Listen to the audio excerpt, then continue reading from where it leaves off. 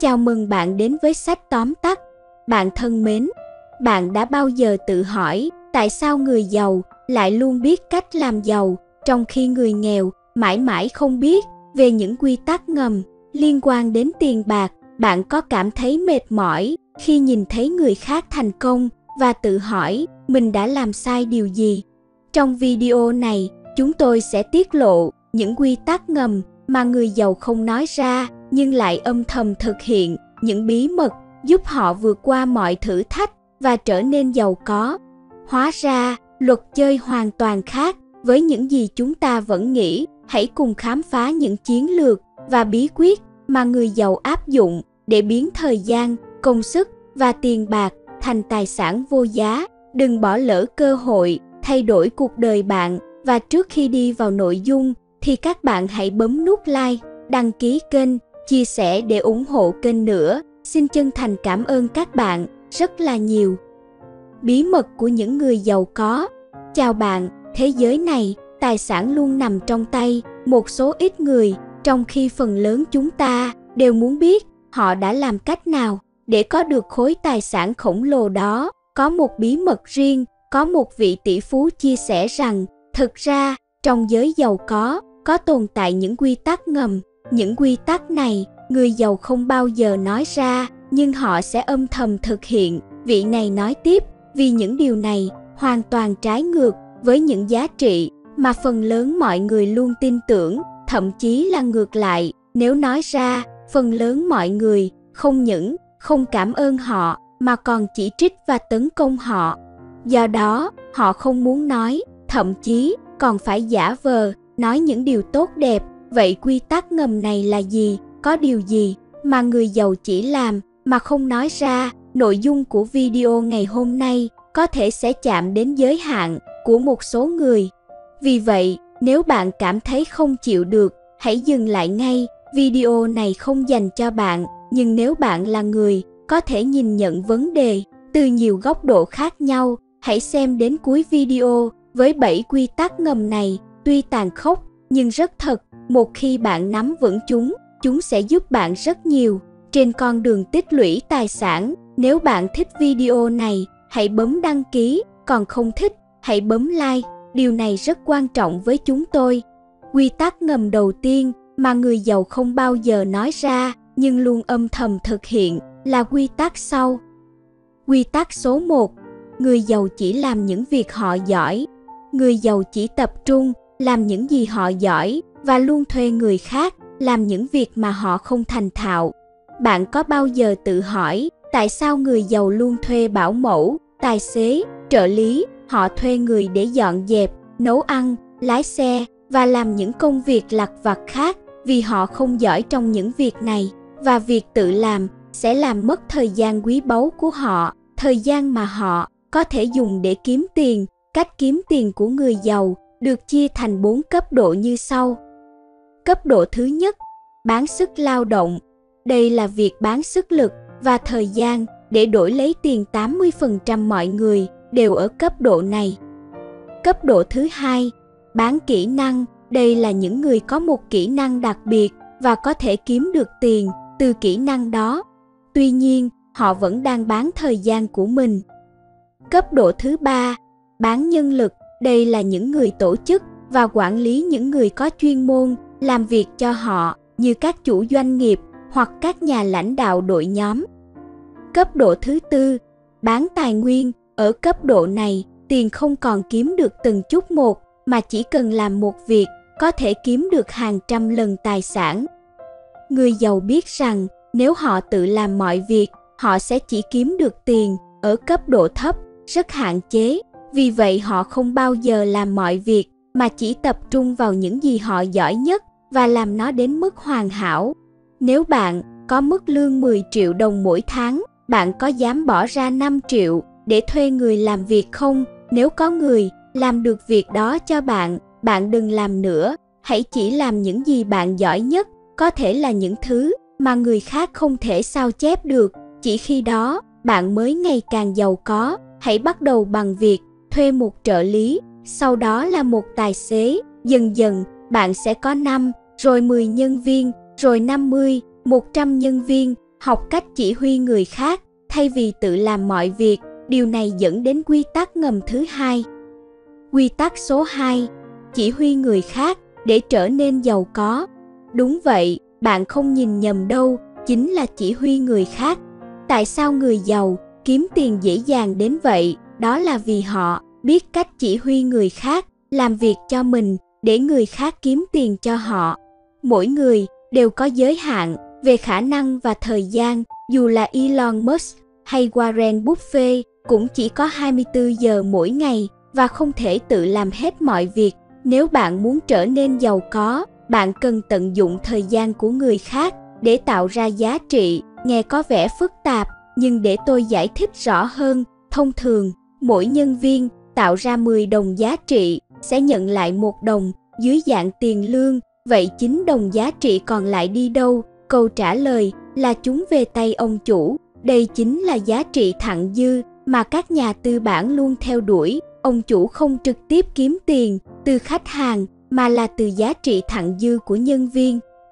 Ví dụ, nếu bạn mở một cửa hàng giày, bạn thuê thợ đóng giày, thuê nhân viên vận hành máy móc và thuê người làm tiếp thị. Khi bạn bán một đôi giày với giá 800 đồng, bạn phải trả 200 đồng tiền lương, trừ thêm 300 đồng, chi phí cố định. Cuối cùng, bạn còn lại 300 đồng lợi nhuận, tổng giá trị 800 đồng là do tất cả mọi người cùng tạo ra, 200 đồng được trích ra để trả lương cho nhân viên, 300 đồng là chi phí cố định và 300 đồng còn lại là lợi nhuận của bạn.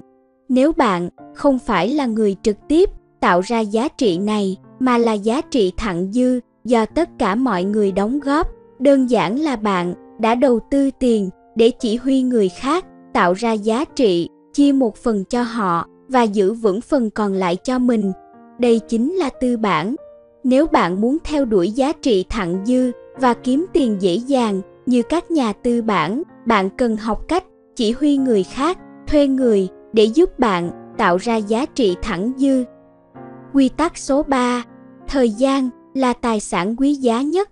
Người giàu luôn biết rõ giá trị của thời gian, một số thứ có vẻ miễn phí, nhưng trong mắt họ, đó là điều đắt đỏ nhất. Ví dụ, chơi game, nhiều trò chơi là miễn phí và bạn nghĩ rằng chơi không tốn kém gì, nhưng trong mắt người giàu, điều đó tiêu tốn thời gian quý báu của bạn. Giả sử bạn có thể kiếm được 1.000 đồng mỗi giờ thì khi bạn chơi game, bạn đã mất đi 1.000 đồng mỗi giờ. Nếu bạn chơi 12 giờ, chi phí là 12.000 đồng và 20 giờ là 20.000 đồng. Khi bạn hiểu rõ về chi phí thời gian, bạn sẽ không còn chơi những trò chơi miễn phí hay tham gia các hoạt động xã giao vô nghĩa. Bạn biết rằng mình đang phải trả giá bằng thời gian quý giá của mình, dù trò chơi miễn phí, nhưng thời gian của bạn không phải là miễn phí. Người giàu hiểu rằng thời gian là tài sản quý giá nhất và không thể thay thế. Họ biết rằng mỗi giờ đều có thể được sử dụng để tạo ra giá trị, học hỏi hoặc đầu tư vào các mối quan hệ có ích. Bởi vậy họ luôn ưu tiên những hoạt động mang lại lợi ích lâu dài và tránh xa những thứ không có giá trị thực tiễn.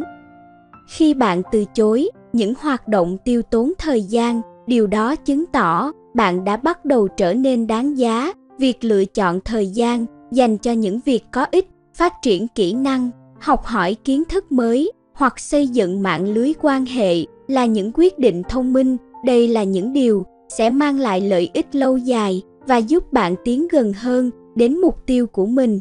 Người giàu cũng biết cách ủy thác công việc thay vì tự mình làm hết mọi thứ họ thuê người khác để giải phóng thời gian cho những việc quan trọng hơn. Điều này không chỉ giúp họ tiết kiệm thời gian mà còn tăng hiệu quả công việc. Họ hiểu rằng việc quản lý thời gian là chìa khóa để thành công và giàu có. Nhìn chung, việc nhận thức và trân trọng giá trị của thời gian là một trong những yếu tố quan trọng giúp người giàu đạt được thành công. Khi bạn hiểu rõ và áp dụng nguyên tắc này, bạn cũng sẽ tiến gần hơn đến mục tiêu của mình và trở nên thành công hơn trong cuộc sống.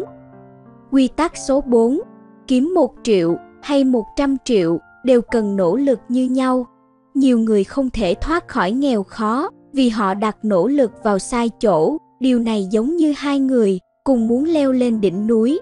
Ông A cầm bản đồ và chọn một con đường ít người đi, không có nhiều điểm chụp ảnh, không có ai bán đồ ăn, chỉ có thể tự mang nước và bánh mì. Trong khi đó, cô B chọn một con đường sầm uất hơn, có nhiều điểm check-in và có nhiều người bán đồ ăn dọc đường. Cô có thể vừa đi, vừa ăn và chụp ảnh, cả hai đều phải đi 10.000 bước để lên đỉnh. Nhưng những gì ông A nhận được từ 10.000 bước ít hơn nhiều so với cô B. Trong bất kỳ công việc gì, hướng đi rất quan trọng, cùng là kiếm tiền, bạn có thể chọn bán xe, bán nhà hoặc bán giấy vệ sinh, quy trình bán hàng đều giống nhau, tìm khách hàng, chốt giao dịch và phục vụ khách hàng, nhưng lợi nhuận thì hoàn toàn khác. Có những người cũng làm dịch vụ khách hàng, cũng bán hàng, nhưng họ chọn sử dụng quy trình bán hàng đó để bán cổ phiếu trên phố Wall và họ kiếm được 100 ngàn, 200 ngàn, thậm chí 300 ngàn đô la mỗi tháng. Trong cuộc đời, chúng ta có rất nhiều lựa chọn. Nếu bạn là người chăm chỉ và sẵn sàng cống hiến, tại sao lại chọn một con đường mà cống hiến nhiều nhưng chỉ nhận lại rất ít? Tại sao không dành nỗ lực của mình vào một hướng đi tốt hơn, đầu tư thời gian và năng lượng vào đúng hướng, bạn sẽ đạt được kết quả gấp đôi với nỗ lực bằng nửa. Đây chính là lý do tại sao lựa chọn quan trọng hơn nỗ lực rất nhiều. Quy tắc số 5, người giàu không học một cách bừa bãi. Có một loại người nghèo rất thích học, nhưng bạn sẽ thấy một hiện tượng kỳ lạ là dù họ học nhiều đến đâu cũng không đạt được kết quả gì. Tại sao? Bởi vì việc học đối với họ là cách tốt nhất để trốn tránh thực tế, nghe có vẻ hào nhoáng khi nói rằng chúng ta yêu thích học tập và nỗ lực, nhưng điều này giống như việc càng làm việc chăm chỉ, càng nghèo đi, chỉ là lừa dối bản thân. Họ không biết tại sao mình học, cũng không biết học để làm gì, chỉ đơn giản là để tự cảm thấy tốt hơn và an ủi rằng mình đã nỗ lực. Bạn phải hiểu rằng tài sản không đến từ việc học mà từ việc hành động. Một người kiếm tiền không phải vì họ đã học những gì mà vì họ đã làm những gì. Nếu học có thể kiếm ra tiền thì những học sinh giỏi nhất trong trường sẽ là triệu phú, nhưng thực tế không phải vậy. Tôi không khuyên bạn đừng học, đừng hiểu lầm ý tôi, ý tôi là đừng học chỉ để học mà hãy học để hành động. Nếu bạn muốn trở thành một diễn giả, hãy học kỹ năng giao tiếp. Nếu bạn muốn có thu nhập thụ động, hãy học đầu tư. Nếu bạn muốn khỏe mạnh, hãy học về dinh dưỡng. Nếu bạn muốn nâng cao tài chính, hãy đăng ký kênh của chúng tôi. Đừng học một cách mù quáng, mà hãy tìm hiểu một việc có thể làm, rồi học xung quanh việc đó. Quy tắc số 6. Nơi nào có người, nơi đó có tiền. Các bạn ạ, à, từ cổ chí kim, con người luôn tích lũy tài sản như thế nào? Trong quá khứ, khi chưa có tiền tệ, con người trao đổi hàng hóa với nhau. Tại sao chúng ta trao đổi hàng hóa? Bởi vì tôi cần đồ của bạn và bạn cũng cần đồ của tôi, nhưng vấn đề ở đây là giá trị của các đồ vật không tương đương. Đồ của bạn có thể trị giá 100 đồng, nhưng đồ của tôi trị giá 200 đồng, nên tôi yêu cầu bạn đưa hai con lợn để đổi lấy một con cừu của tôi, nhưng bạn lại nghĩ rằng con cừu của tôi không đáng giá như vậy. Vậy làm thế nào? Đó là lúc tiền tệ ra đời để đo lường giá trị cụ thể của mỗi hàng hóa. Bạn có 200 đồng, tức là bạn có thể đổi lấy con cừu của tôi. Nếu tôi muốn tích lũy nhiều tài sản hơn, tôi sẽ tìm cách có nhiều cừu hơn và bán lại cho bạn. Đây là cách duy nhất để tích lũy tài sản. Tương tự, nếu bạn muốn kiếm tiền, bạn phải đến những nơi đông người, vì ở đó bạn có thể thực hiện nhiều giao dịch hơn, bán cừu cho nhiều người hơn và tài sản của bạn sẽ tăng nhanh hơn. Vì vậy, nơi nào có người, nơi đó có tiền. Trong thời đại này, dòng người đã thay đổi với sự phát triển của internet, mỗi người không còn bị giới hạn bởi vị trí địa lý mà có thể kết nối với tất cả mọi người trên thế giới qua một chiếc điện thoại. Internet đã dần trở thành nơi tập trung đông đảo nhất. Nếu bạn học cách thu hút người trên mạng, bạn có thể sẽ có vô số con cừu và bán chúng vô số lần. Đây chính là bí quyết kiếm tiền của thời đại này. Khi bạn thu hút được nhiều người, việc kiếm tiền của bạn sẽ trở nên nhanh chóng và dễ dàng hơn. Quy tắc số 7: kiếm 10 triệu đồng dễ hơn tiết kiệm 10 triệu đồng. Câu này là của Elon Musk, người giàu nhất thế giới và tôi đã đề cập đến câu này rất nhiều trong các video của mình vì tôi thực sự đồng ý. Tiết kiệm tiền có thể giúp chúng ta đối mặt với những điều chưa biết, nhưng tiết kiệm sẽ không làm cho chúng ta giàu có. Tôi từng thấy rất nhiều người dành hàng giờ chỉ để lấy vài phiếu giảm giá nhằm tiết kiệm vài đồng. Họ không hiểu rằng tiết kiệm là có giới hạn, dù tiết kiệm đến đâu cũng không tiết kiệm được bao nhiêu. Tiết kiệm giống như bạn có một bình nước, dù tiết kiệm thế nào cũng không thể có thêm nước, nhưng khả năng sáng tạo của con người là vô hạn, bạn không thể tiết kiệm thêm nước thì hãy tạo cho mình nhiều vòi nước hơn, khai thác nhiều nguồn nước hơn, đây chính là nguyên tắc mở rộng nguồn thu nhập thay vì cắt giảm chi phí. Nếu bạn còn dành hàng giờ để so sánh giá cả, để tiết kiệm một ít tiền thì tốt hơn hết là hãy dùng thời gian đó để nghĩ cách tạo ra thu nhập vì kiếm 10 triệu đồng dễ hơn rất nhiều so với tiết kiệm 10 triệu đồng. Khi bạn nhận ra điều này càng sớm, cuộc sống của bạn sẽ thay đổi càng nhanh. Đó là bảy quy tắc ngầm mà người giàu không nói ra nhưng luôn âm thầm và lén lút thực hiện. Nếu bạn thích video này, hãy bấm đăng ký kênh, không thích thì bấm nút like. Điều này rất quan trọng với chúng tôi. Và tiếp theo là 8 loại tài sản mà người giáo âm thầm tích lũy để tạo nên sự giàu có của họ. Bài học số 1: Doanh nghiệp của bạn. Tại một thời điểm nào đó, tất cả chúng ta đều bị mê hoặc bởi các doanh nhân thành công. Câu chuyện về những doanh nhân thành công luôn là nguồn cảm hứng bất tận, cách mà những nhân vật như Elon Musk, Jeff Bezos và Mark Zuckerberg đã từ bàn tay trắng tạo dựng nên những đế chế tỷ đô khiến chúng ta ngẩn ngơ tự hỏi làm sao họ có thể tích lũy được khối tài sản khổng lồ trong một cuộc đời đôi khi chúng ta cũng bị ảnh hưởng bởi những khuôn mẫu của hollywood, nơi những người cực kỳ giàu thường được miêu tả như những kẻ tham nhũng và vô nhân đạo, không mảy may đổ mồ hôi hay nước mắt. Thế nhưng, suy nghĩ này lại chính là rào cản tâm lý khiến nhiều người không thể vươn tới sự giàu có. Sự thật đằng sau việc xây dựng một doanh nghiệp thành công là một hành trình gian khó, đòi hỏi không chỉ sự thông minh kiên nhẫn, mà còn cả sự lao động cực lực, đổ mồ hôi và nước mắt, việc biến một ý tưởng kinh doanh thành một tập đoàn đa quốc gia không chỉ đơn giản là một cuộc chơi dành cho trẻ con, mà là một cuộc chiến khốc liệt trên thương trường. Bạn biết không, elon musk, jeff bezos và mark zuckerberg đều đã trở nên nổi tiếng nhờ vào sự chăm chỉ, sự khác biệt giữa các doanh nhân giàu có và nhân viên là giống như sự khác biệt giữa thu nhập thụ động và thu nhập chủ động. Các doanh nhân làm việc rất chăm chỉ trong vài năm đầu để tạo dựng một doanh nghiệp trong khi nhân viên làm việc chăm chỉ. Suốt đời họ, các doanh nhân tạo ra tài sản, mang lại tiền cho họ. Suốt phần đời còn lại mà không cần làm việc nữa, trong khi nhân viên sống từng đợt lương này qua đợt lương khác, các doanh nhân đảm bảo cuộc sống cho bản thân và con cái họ, trong khi nhân viên chết trong nghèo khó, không để lại gì cho thế hệ tiếp theo. Bài học số 2 bất động sản.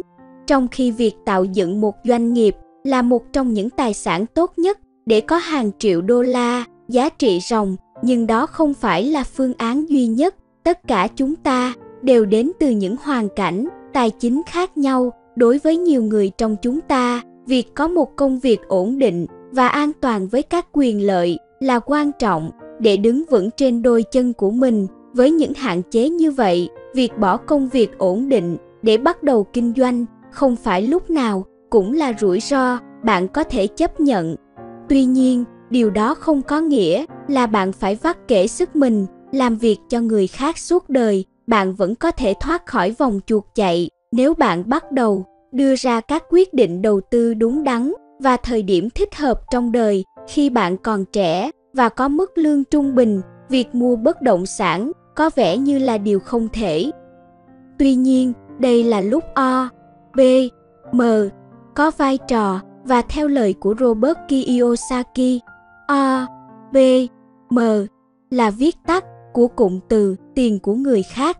Nói một cách đơn giản, ông khuyến khích mọi người vay tiền để mua bất động sản cho thuê. Những bất động sản này tạo ra một dòng thu nhập thứ hai cho bạn. Ngoài công việc, từ 8 giờ sáng đến 5 giờ chiều, thu nhập từ việc cho thuê, trả cho các hóa đơn hàng tháng và các chi phí khác vẫn còn lại một ít tiền cho túi tiền của bạn. Hơn nữa, bất động sản của bạn sẽ tăng giá dần theo thời gian do lạm phát và sự mất giá của đồng tiền dần dần khi bạn bắt đầu sở hữu nhiều bất động sản cho thuê hơn, bạn trở nên ít phụ thuộc vào lương tiếp theo, và đó là lúc bạn thực sự đạt được tự do tài chính bạn không cần phải làm việc vì tiền, các tài sản của bạn làm việc cho bạn, và nếu bạn thông minh về nó, bạn sẽ bắt đầu thêm nhiều dòng thu nhập thụ động, tạo ra của cải, có thể chuyển giao cho thế hệ tiếp theo. Bài học số 3: Tài sản giấy tờ.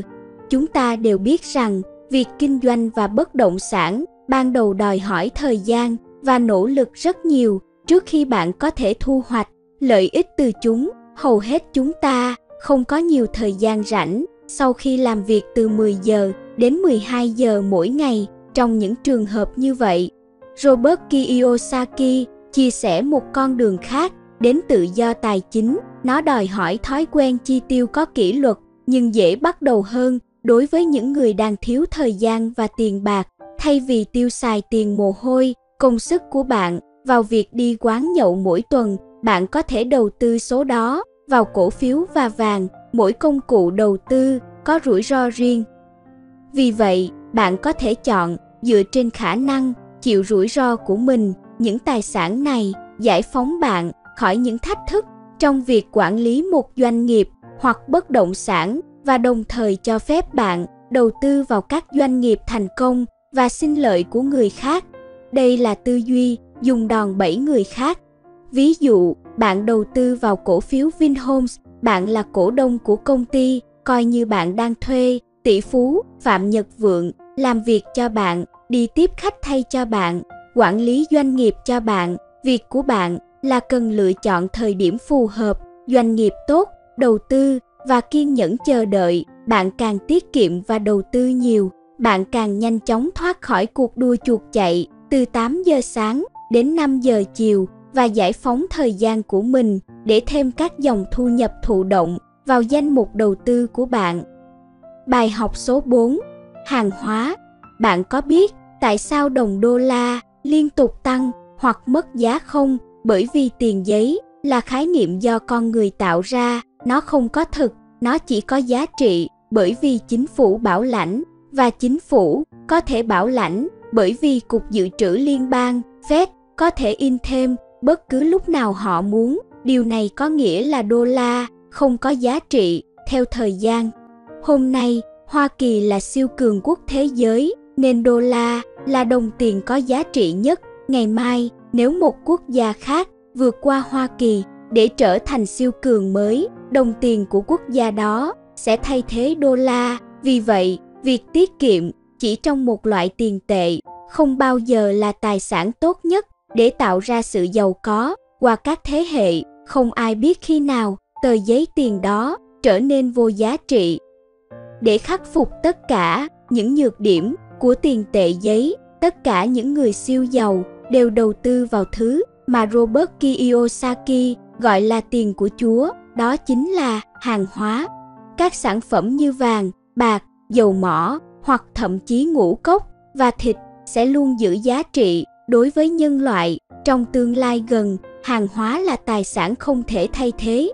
Cuối cùng chúng ta cần thức ăn để sống năng lượng để di chuyển và giao dịch và kim loại quý để dự trữ của cải. Tài sản giấy không thể làm những điều này cho chúng ta với số lượng hạn chế và nhu cầu ổn định hàng hóa cũng là sự bảo vệ tốt chống lại lạm phát do đó luôn là ý kiến tốt khi đa dạng hóa danh mục đầu tư của bạn với một số khoản đầu tư vào hàng hóa vì chúng tăng giá trị trong những thời kỳ khó khăn khi các tài sản khác giảm giá.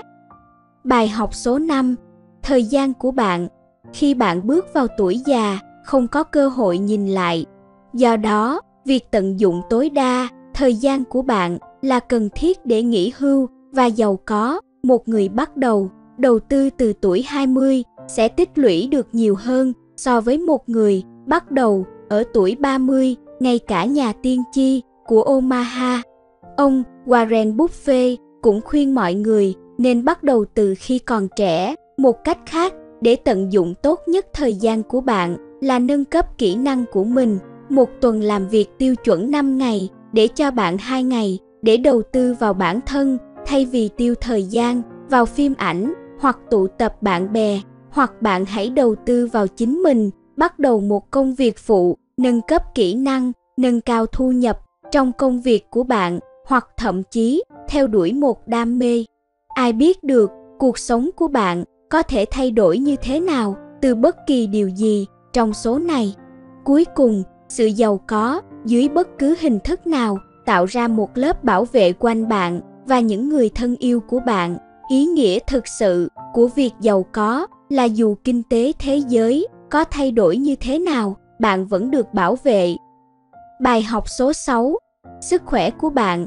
Trong khi tận dụng thời gian là một cách tốt để nỗ lực tinh thần, thì việc duy trì sự khỏe mạnh về thể chất là rất cần thiết để hoàn thành tất cả mục tiêu và khát vọng của bạn. Hầu hết chúng ta không chăm sóc cơ thể khi còn trẻ. Chúng ta ăn đồ ăn nhanh, đồ ăn không lành mạnh từ nhà hàng, tiêu thụ rượu vượt mức khuyến nghị, hoặc thậm chí hút vài điếu thuốc. Chúng ta cảm thấy mình đã làm việc rất chăm chỉ và xứng đáng được nghỉ ngơi một chút. Sau đó, chúng ta trở lại công việc với tâm trạng hạnh phúc, sẵn sàng kiếm thêm tiền để có thể làm tất cả những điều đó lại từ đầu, trước khi chúng ta nhận ra, chúng ta rơi vào vòng lặp này. Và không chỉ những thói quen, không lành mạnh, ăn mòn thu nhập hiện tại của chúng ta, mà còn để lại cho chúng ta những hóa đơn y tế khổng lồ, làm cạn kiệt tài sản vào tuổi già. Ngược lại, nếu chúng ta đầu tư vào cơ thể và tập thể dục đều đặn, chúng ta không chỉ có thể làm việc nhiều hơn và kiếm nhiều hơn, mà còn có một cuộc sống dài và khỏe mạnh cùng gia đình và người thân yêu của mình. Bài học số 7: Tài sản trực tuyến. Bạn ạ, à, bạn có biết rằng chi phí để bắt đầu một kênh YouTube, TikTok là bao nhiêu không? Hoàn toàn miễn phí và bạn đã bao giờ học được điều gì thú vị từ một video trên YouTube hoặc TikTok chưa? Mọi người đều đã làm vậy, tất cả chúng ta đều giỏi về một điều gì đó, một số chúng ta nấu ăn rất giỏi, một số thích khiến người khác cười và một số là những thiên tài máy tính. Vậy tại sao không sử dụng kiến thức và kỹ năng của bạn để giúp đỡ những người đang gặp khó khăn với điều bạn giỏi và nếu kỹ năng của bạn thực sự được tìm kiếm, bạn sẽ có đủ người đăng ký hay theo dõi trong thời gian ngắn và YouTube, TikTok sẽ trả tiền cho bạn. Thậm chí có thể bắt đầu tạo ra doanh thu từ quảng cáo hay video bán hàng, đánh giá các sản phẩm, livestream, tình hình tương tự cũng xảy ra với tất cả các tài sản trực tuyến, dù đó là các khóa học trực tuyến, trang web, blog, thậm chí là các trang mạng xã hội của bạn. Một khi tài sản trực tuyến của bạn bắt đầu kiếm đủ tiền, bạn thậm chí có thể tạo ra một doanh nghiệp từ nó, nâng cấp nội dung, thuê người làm việc cho bạn và thậm chí tham gia các chương trình liên kết để tăng cường dòng thu nhập của mình. Bài học số 8: Mạng lưới của bạn. Bạn đã nghe câu nói, một khách hàng hài lòng là một khách hàng, giới thiệu khách hàng mới chưa? Câu nói ngắn gọn này nói lên rất nhiều điều về lý do tại sao việc phát triển thương hiệu cá nhân hoặc uy tín là quan trọng đối với sự thành công của bất kỳ doanh nghiệp nào, lớn hay nhỏ mặc dù làm việc tốt có thể giúp bạn thành công ban đầu nhưng vài lời giới thiệu từ khách hàng của bạn có thể hoàn toàn thay đổi cục diện cho bạn giả sử bạn bắt đầu doanh nghiệp cung cấp thức ăn mỗi bữa tiệc bạn phục vụ đều mở rộng mạng lưới của bạn, bởi vì nếu khách thích thức ăn của bạn, họ sẽ gọi bạn vào lần tiếp theo, họ tổ chức tiệc. Do đó, cùng với việc cung cấp chất lượng, bạn cũng cần nghĩ đến cách để tiếp thị bản thân, bạn không thể chờ đợi thành công, tự mình tìm đến, bạn cần phải cho mọi người biết rằng bạn là người đứng sau tất cả công việc tốt đó. Nếu bạn thấy video hôm nay mang lại giá trị cho bạn, hãy giúp tôi bằng cách nhấn like và chia sẻ với những người xung quanh bạn để họ cũng có thể cùng bạn phát triển. Nếu bạn yêu thích nội dung về tư duy tài chính và khởi nghiệp kiếm tiền, hãy đăng ký kênh của chúng tôi và nhấn chuông thông báo bên cạnh. Mục tiêu của chúng tôi là thông qua việc chia sẻ nội dung giá trị cao, giúp bạn mở rộng tầm nhìn và phá vỡ tư duy nghèo khó. Cảm ơn thời gian quý giá của bạn. Nếu bạn thích video này, bình luận số 1, không thích số 2, điều đó có ý nghĩa rất lớn với chúng tôi. Xin chào, hẹn gặp lại các bạn ở các video tiếp theo. Sách tóm tắt. Chúc bạn thành công.